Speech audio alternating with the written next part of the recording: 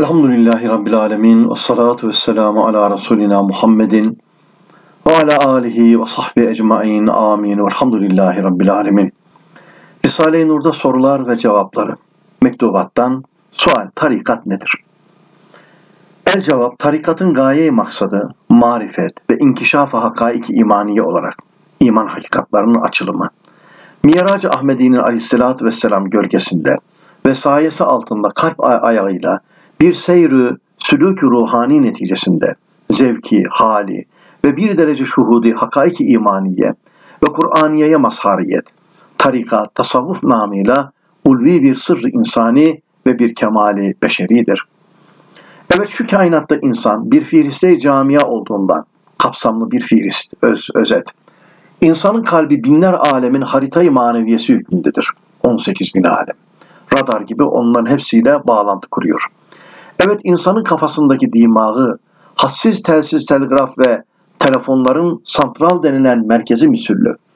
Kainatın bir nevi merkezi manevisi olduğunu gösteren hassiz fünun ve ulum beşeri olduğu gibi insanın mahiyetindeki kalbi dahi hassiz hakaiki kainatın masarı, medarı, çekirdeği olduğunu, haddü hesaba gelmeyen ehli velayetin yazdıkları milyonlarla nurani kitaplar gösteriyorlar. İşte madem kalp ve dimağ insani bu merkezdedir, çekirdek haletinde bir şeceri azimenin cihazatını tazammun eder ve ebedi, uhrevi, haşmetli bir makinanın aletleri ve çarkları içinde derc edilmiştir.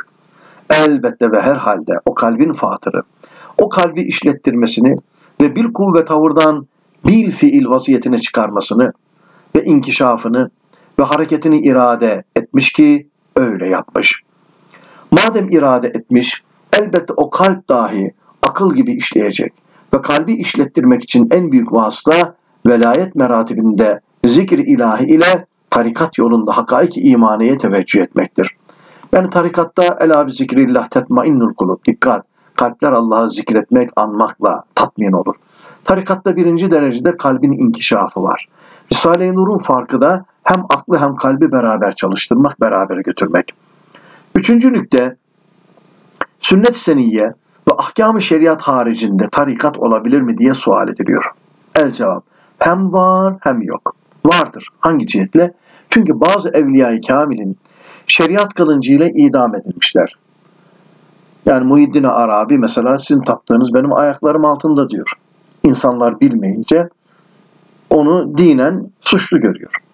Hem yoktur çünkü muhakkikin evliya Sadı Şirazi'nin bu düsturunda ittifak etmişler. Yani Resul-i Ekrem Aleyhisselatü Vesselam'ın caddesinden hariç ve onun arkasından gitmeyen muhaldir ki hakiki envar hakikata vasıl olabilsin, ulaşabilsin.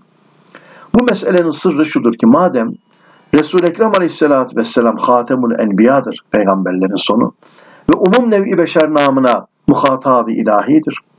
Elbette nevi beşer onun caddesi haricinde gidemez ve bayrağı altında bulunmak zaruridir. Ve madem ehli cezbe ve ehli istiyarak muhalefetlerinden mesul olamazlar ve madem insanda bazı letaif, latife ve duygular var ki teklif altına giremez serbest. O latife hakim olduğu vakit tekalif şer'iyeye muhalefetiyle mesul tutulmaz. Ve madem insanda bazı letaif var ki teklif altına girmediği gibi ihtiyar altına da girmez. İradeyi dinlemiyor. Dışı. Hatta aklın tedbiri altına da girmez. O latife kalbi ve aklı dinlemez. Elbette o latife bir anda hakim olduğu zaman fakat o zamana mahsus olarak o zat şeriata muhalefette velayet derecesinden sukut etmez mazur sayılır. Fakat bir şartla ki hakaiki şeriata ve kavaidi imaniye karşı bir inkar, bir tezyif, bir istihfaf olmasın. Ahkamı yapmasa da ahkamı hak bilmek, hükümleri hak bilmek gerektir. Yoksa o hale mağlup olup neuzu billah. O hakaiki muhkemeye karşı inkar ve tekzibi işmam edecek bir vaziyet alameti sukuttur. Elhasıl.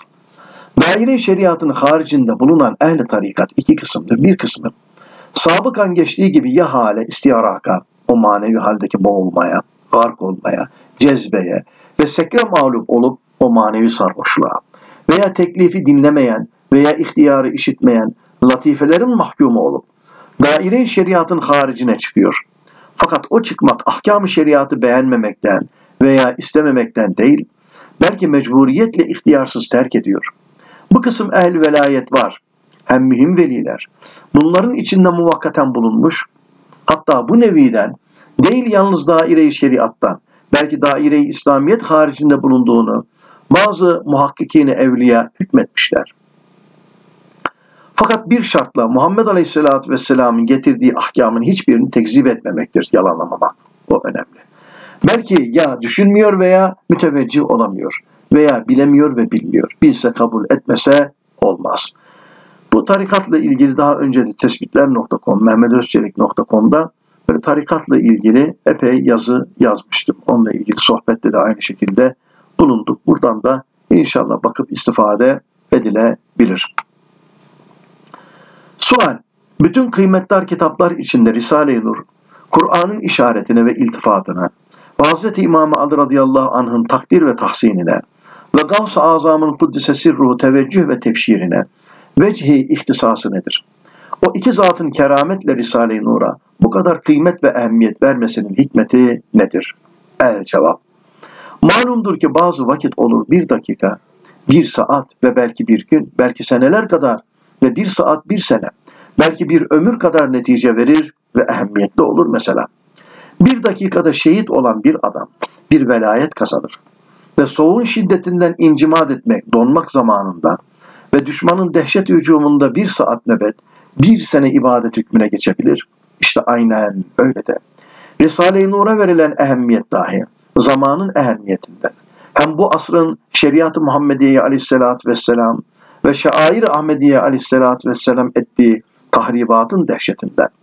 Hem bu ahir zamanın fitnesinden eski zamandan beri bütün ümmet istiaze etmesi cihetinden, hem o fitnelerin savletinden, saldırısından, müminlerin imanlarını kurtarması noktasından Risale-i Nur öyle bir ehemmiyet kesbetmiş ki, Kur'an ona kuvvetli işaretle iltifat etmiş ve Hazreti İmam Ali radıyallahu anhu üç kerametle ona beşaret müjde vermiş.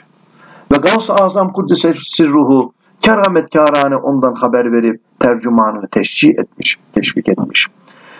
Evet bu asrın dehşetine karşı taklidi olan itikadın istinat kalaları, dayanak noktaları sarsılmış ve uzaklaşmış ve perdelenmiş olduğundan her mümin tek başıyla dalaletin cemaatla hücumuna mukavemet ettirecek gayet kuvvetli bir imanı tahkiki lazımdır ki dayanabilsin.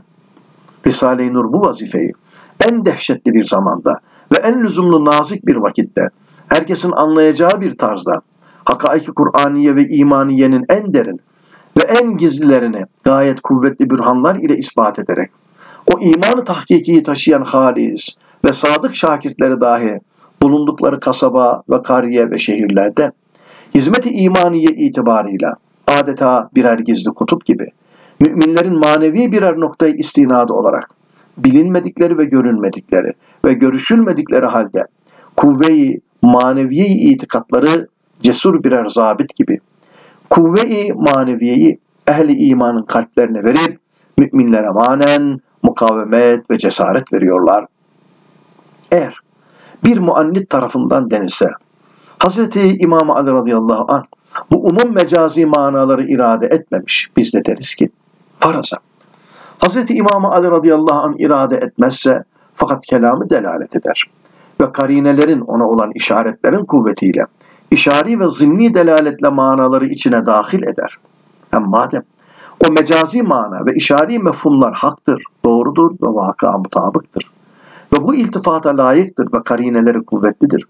Elbette Hz. İmam Ali radıyallahu anh'ın böyle bütün işari manaları irade edecek külli bir teveccüh faraza bulunmazsa, Celcelutiye vahiy olmak cihetiyle hakiki sahibi, Hz. İmam Ali radıyallahu anh'ın üstadı olan Peygamberi Zişan aleyhissalatü vesselamın külli teveccühü ve üstadının, Üstad-ı Zülcelal'inin ihatalı ilmi onlara bakar, irade dairesine alır.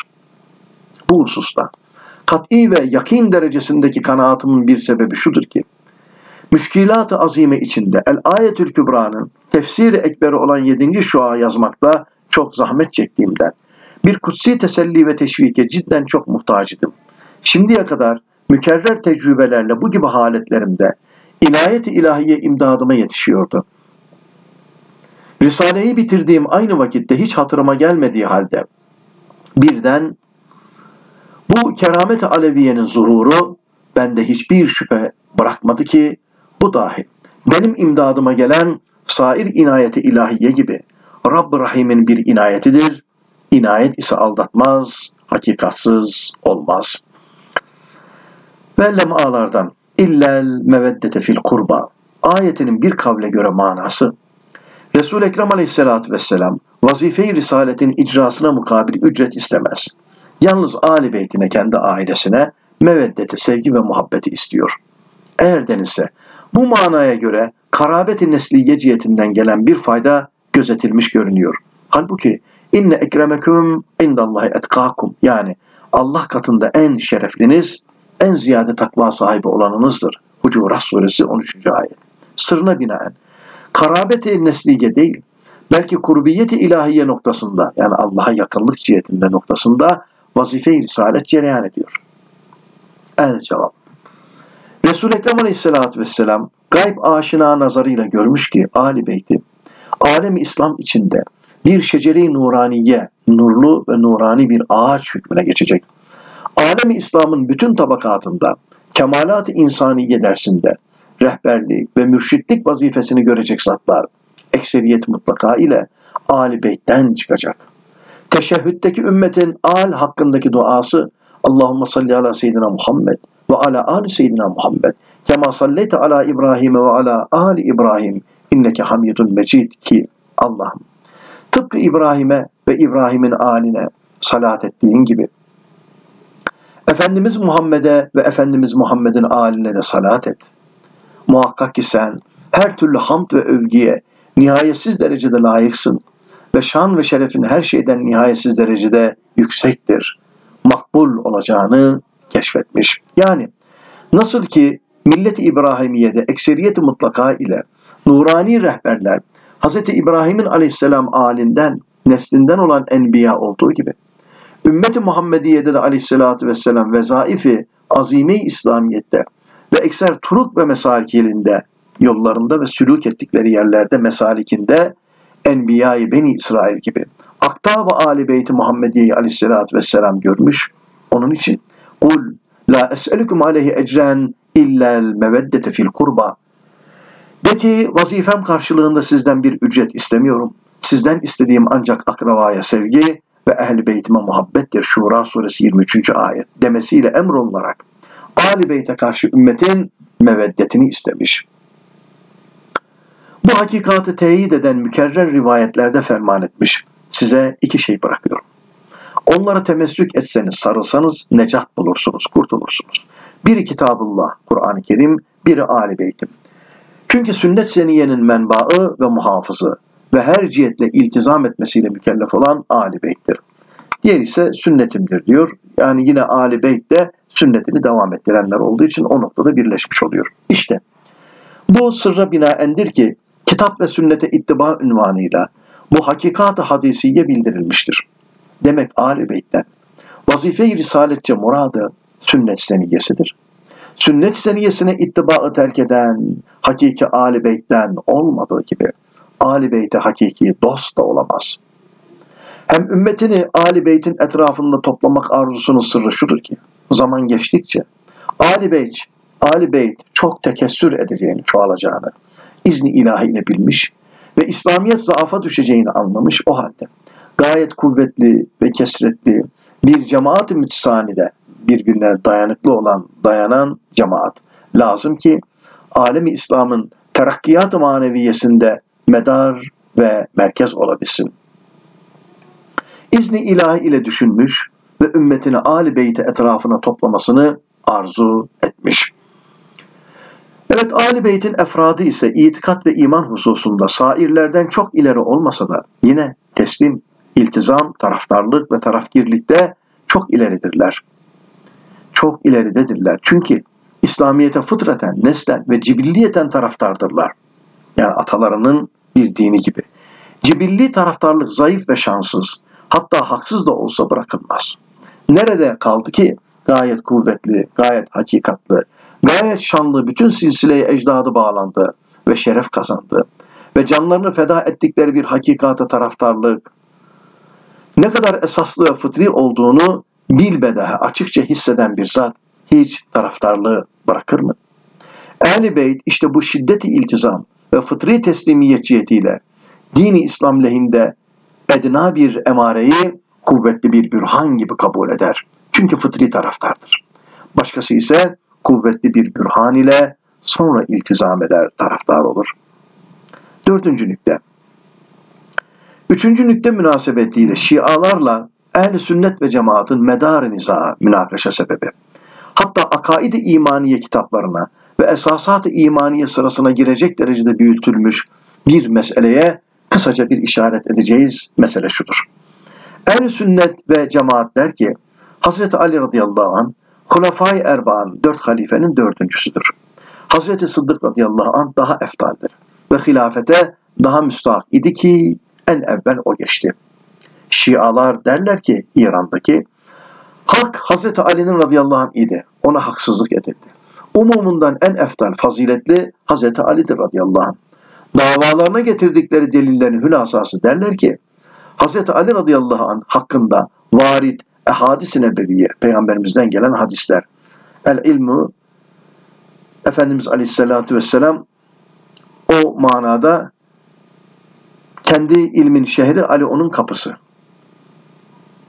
Yani Hazreti Ali kapısıyla kendisinin ilim şehrine girmiş oluyor.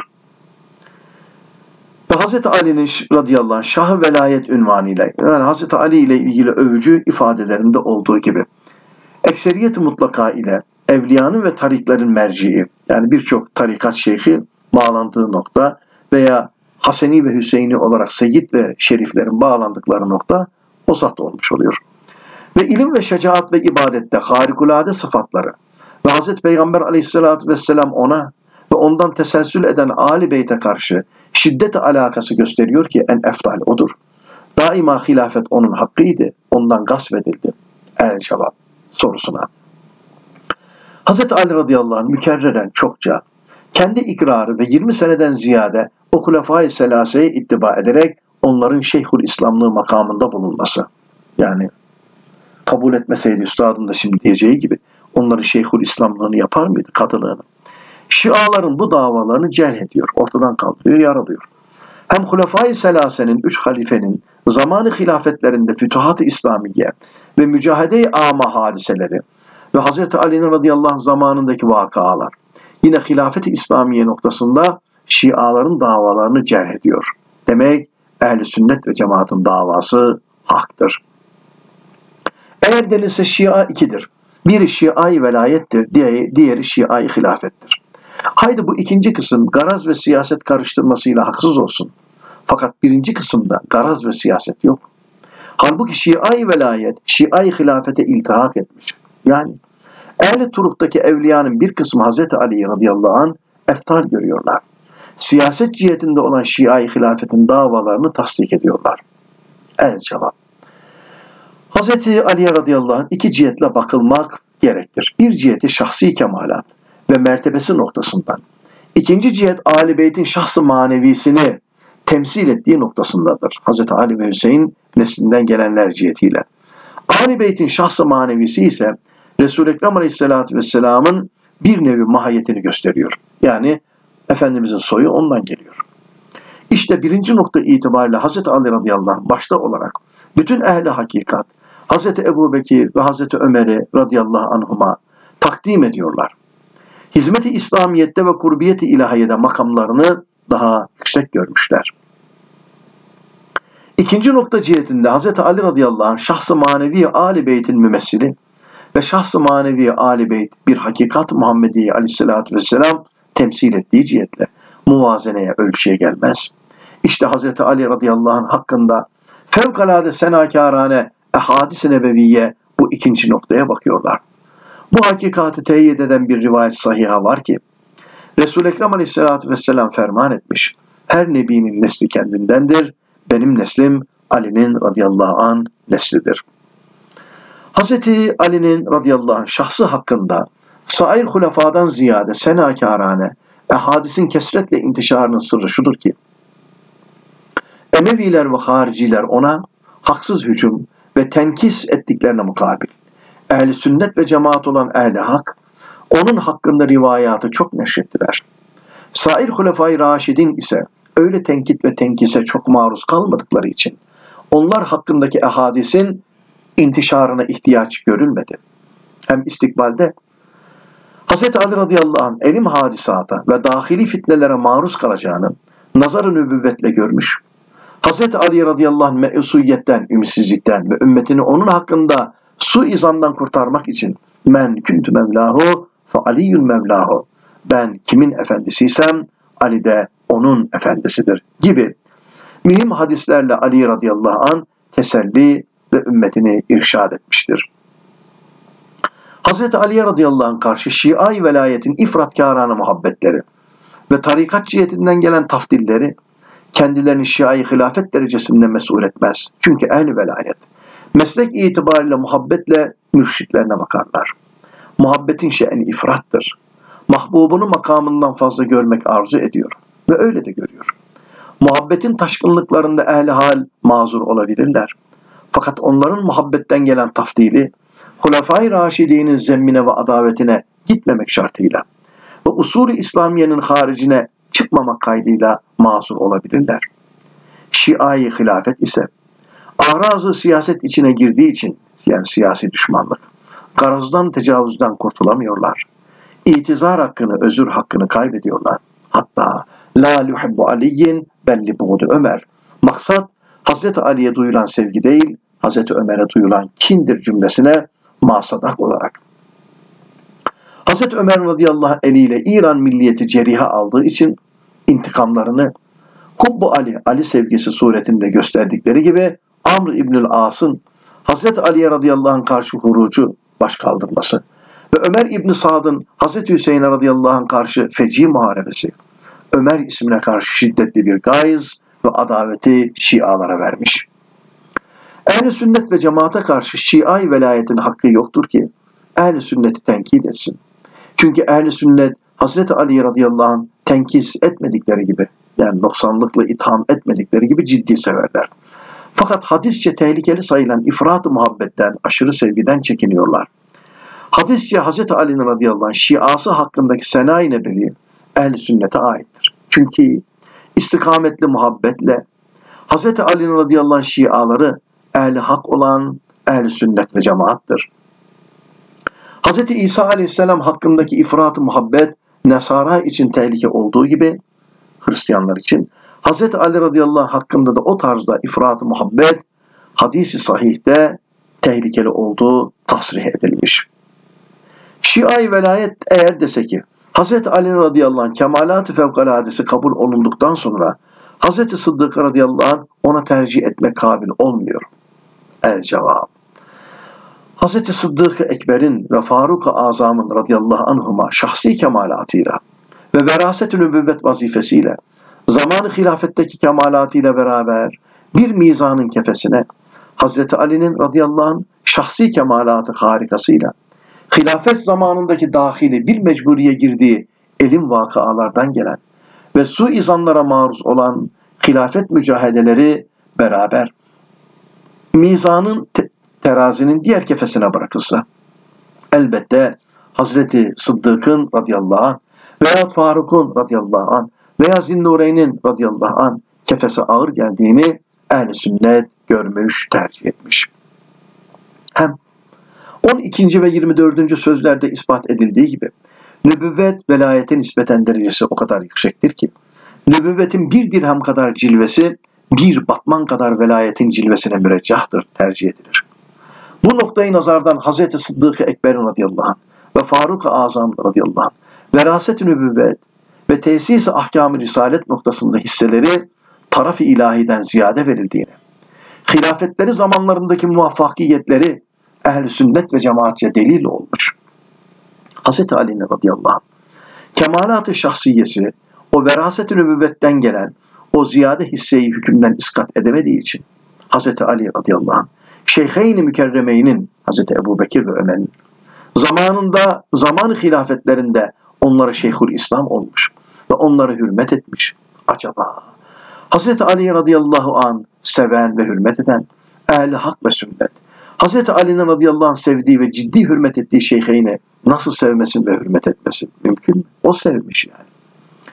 Bu hakikatı bir misalle izah edelim. Mesela gayet zengin bir zatın irsiyetinden evlatlarının birine 20 batman gümüş ile 4 batman altın veriliyor.